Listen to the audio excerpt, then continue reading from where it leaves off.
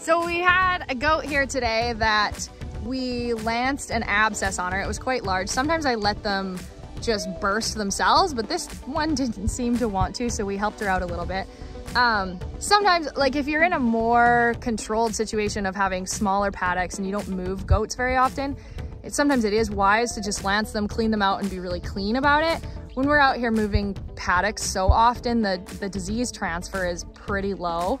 So we generally try not to worry about it unless it's quite bad, which this one was, was getting quite big. This is infection. We just lanced a giant abscess. For those of you abscess lovers, just enjoy. Is that Janice, that one? This is Janice, yes and she has a big pimple.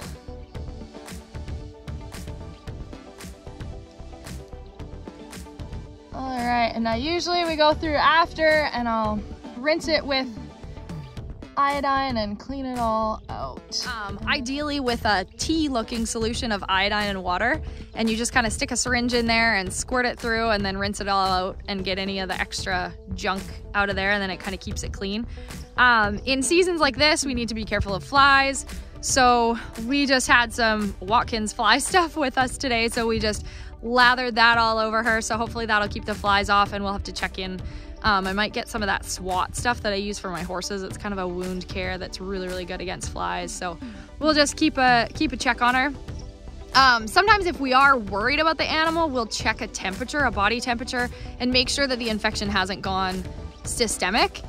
But most often they those abscesses they really just wall off and they're not they're not going to be a problem for any other part of the body um, but yeah that is one thing if you can check temperatures and then if you do have a fever then you could treat with systemic antibiotics but generally we don't because it is just kind of a capsule infection so there's always the possibility of what's called caseous lymphadenitis or cl um, which is just a, it's a disease, very infectious. People can get it too, which is not ideal, but, um, and so there's always a possibility of it. We haven't actually tested yet to see if we have any. We haven't had huge issues with the abscesses, so I haven't really worried about it. I am seeing a few more, so it might be in our future to, to potentially test for some of them. Um, we do generally vaccinate for it with the Glanvac 6 vaccine. It has a vaccine in there for caseous lymphadenitis. Um, but it could be, I mean, there's lots of things that can cause abscesses too. They're out here in the brush and they're poking themselves on things and, hey, show me your abscess. It's already burst under your ear there. Can I see it? Yeah, right there, that one.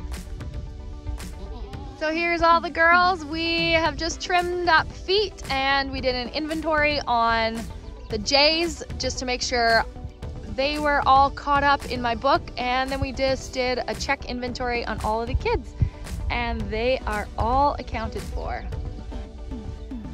Hey, baby. Come on, girls. You're free.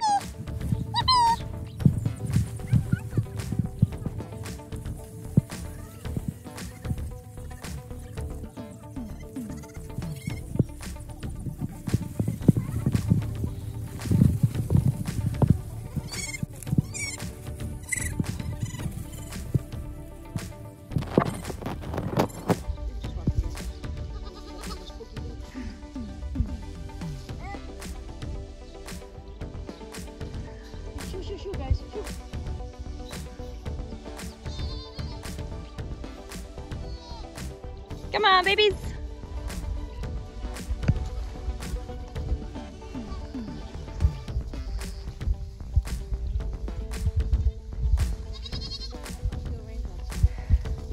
And the key to get any good work done is to have a good napping spot for the baby.